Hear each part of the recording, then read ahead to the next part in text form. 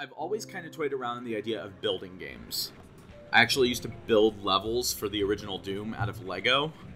Um, I mean, this is when I was really young because I've been playing uh, games since I was probably two. You know, I, I used to watch my dad play Mario. When I was three, Doom released. I used to watch my dad play Doom, and then eventually started playing that as well. Um, the first video game that I ever created was um, not finished, as many people's first video games ever were. Um, I was working on I was working on a game in Flash way back when, um, and it was nothing particularly special. It was me just learning the tooling and learning uh, ActionScript. Um, the first game I ever, I guess, what I would actually call completed and released. It was a game called Dropped. It is a platformer, single screen platformer. Um, the core go- or the, the core goal when I was designing it was to see what I could do, uh, like what with the constraints of a, of a single screen levels. So I've been working on a game called Audiozo, and Audiozo has actually had many challenges that were pretty large.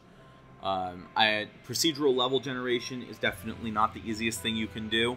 Um, getting something that that works isn't bad, isn't so hard. Getting something that works well is.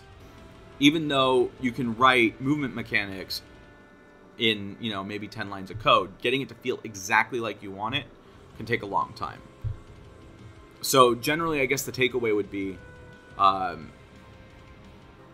that if it sounds easy it's going to probably be hard. And if it sounds hard it might actually be quite easy.